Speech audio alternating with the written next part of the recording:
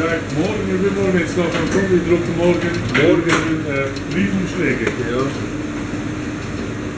Und auch noch Wurstpapier. Lebensmittelpapier. Diese läuft sehr gut, das Heiko, das ist nur 50 Gramm. Mit der, Kein Problem.